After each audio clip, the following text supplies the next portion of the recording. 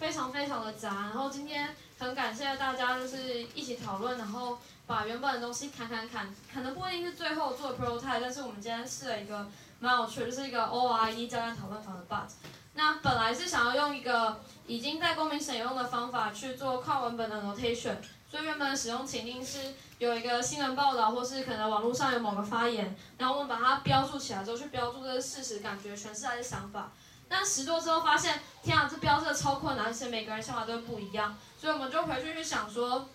这个东西到底是要解什么问题，到底谁是使用者？所以我们花很多时间说，呃，应该是网络意见很分散，然后我们要怎么促进高品质的讨论？或者是其实政府他们有可能有买一些舆情监测的工具，但它只有关键字，那大家可能只知道就是因为劳基法暴怒，可是不知道什么暴怒的点是什么，还有我们到底要处理什么样的文件。那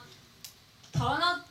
最后一个结论是，今天可以解决问题是我们先解决政府的问题，一般公民跟其他人先不管他们的话或者什么？他政府其实想要理解一般民众的感受与论点。然后希望这东西可以标记，然后整理成民众的论点。还有就是可能我们 KPI 还要继续使用 ORID 这个方法的状况下，我们生出一个歪楼的东西，就是可不可以用机器人来教大家怎么用 ORID？因为是 O I D 是一个很违反你讨论直觉的事情。你你你在网络上比战的时候，你不会说大家好，我现在要先讲事实，然后再来讲我的感受，然后再讲我要什么决定。那用 BUT 的好处是，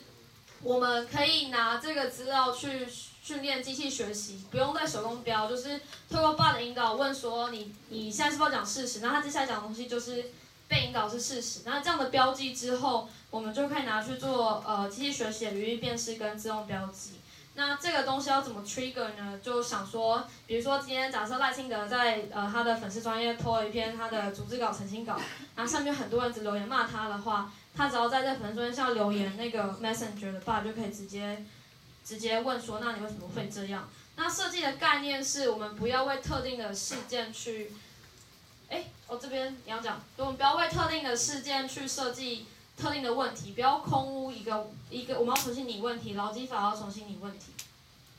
哦，其实就像小白说的，就是所以我们在赖清德这种情境下面，我们就希望还是要收集到 ORID 的四个。不同标记的一个意见，然后来呈现，重点就是要呈现说，到底这个想表达意见的人，他到底想要表达什么？我们不要只看到一句话说干戴金德是欧北共，然后或者是什么鬼的，到底他讲错什么话之类的，想要理解他真的在想什么。所以设计上面就还是要先厘清说，所以你的情绪到底是怎么样，这样子是符合啊。然后在在设计上面就会想要问说，那你为什么会，呃，你针对这个议题你有什么感？就是你觉得。这个是什么问题？然后让他有一个他自己的 interpretation 出现，然后再问他说：“那你觉得呃事情这样子，呃运作好不好？”那呃其实我讲这么多，我们就直接来看 demo 好了。然后，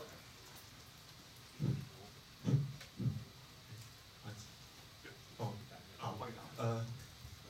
就是这个的。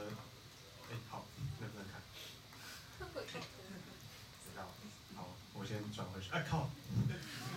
先转回一般人，不好意思。呃，好，这个的情形就是说，假设这个，先不管为什么名字叫这个，反正这个假设这个粉砖是一个，假设是赖清德，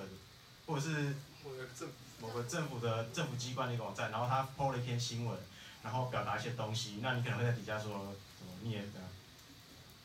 这做工 然后好，等待一下。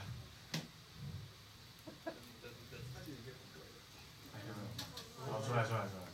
就是他会说，你好，感谢，之类的，然后就说，哼，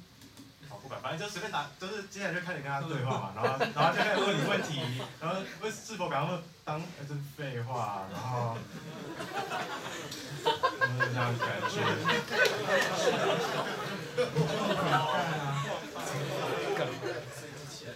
就是